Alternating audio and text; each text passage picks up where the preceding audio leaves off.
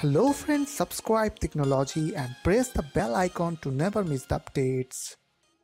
So I will show you guys two method by which you can check your download and upload speed on your terminal. So for that you have to open terminal on your computer. Just go to your start menu and type here terminal and after that you have to open your terminal.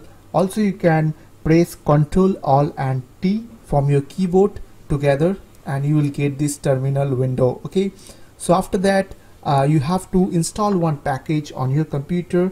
For that you have to type over there sudo apt get install and then speed test minus CLI okay? And after that click on enter. Now you have to put your current computer password. In my case I am putting my password. And after that you have to wait for some time.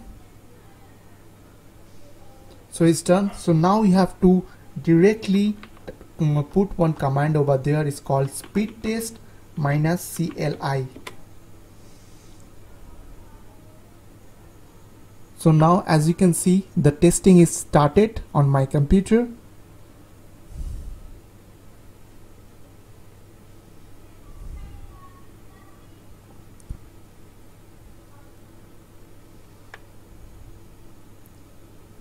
so my download speed is near about 31 Mbps and the upload speed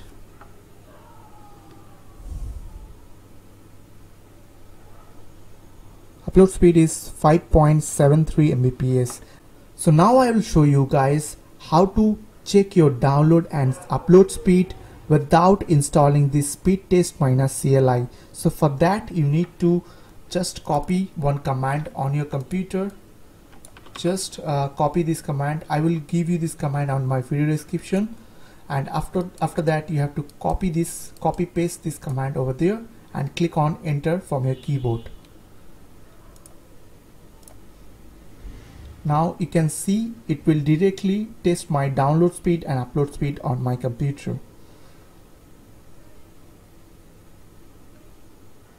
So I hope this small video will really help for you and please don't forget to click on the subscribe button like button and share button. And if you have any queries or question then comment